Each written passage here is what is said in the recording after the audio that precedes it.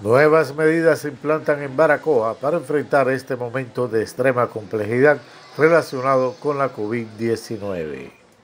El máximo dirigente de la salud pública en el municipio se refiere a determinados sectores de la población que deben ir a Guantánamo. Todos aquellos pacientes que sean, sobre todo niños menores de 12 años, todas eh, embarazadas, toda persona o mujer puérpera, así que, esté, que haya parido, que esté lactando, todos eh, aquellos pacientes alto riesgo con una enfermedad X que pudiera complicarse, eh, van a ser trasladados, como está establecido en el protocolo, para nuestra provincia, que tienen las condiciones allí para su tratamiento médico. Se recomienda a los pacientes con síntomas que vayan a las consultas preparados por si resultan positivos ir a los centros de aislamiento. Por tanto, ya debemos, debemos salir ya para una sala de respiratoria con eh, los bienes personales necesarios para no perder tiempo.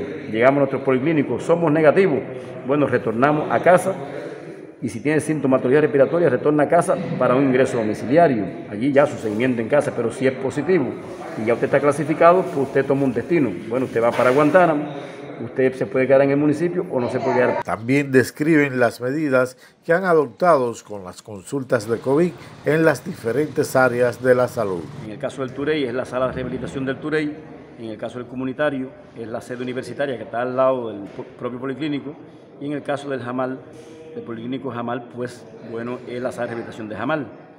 Pero además, en el caso comunitario, que tiene una gran población, hemos estado decidiendo también hacer una extensión en, desembarco eh, por Duave en el Politécnico y también estamos previendo hacer una extensión en la punta.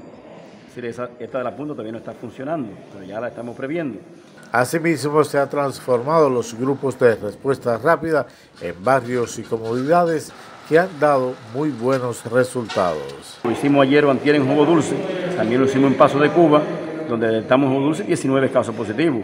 Y allí en Paso Cuba detectamos también un número importante, más de 12 casos positivos. Nuevos protocolos ya se aplican en el municipio para hacer frente a la COVID-19 en Baracoa. Hilberto Rodríguez Adames, Sistema Informativo de la Televisión Cubana.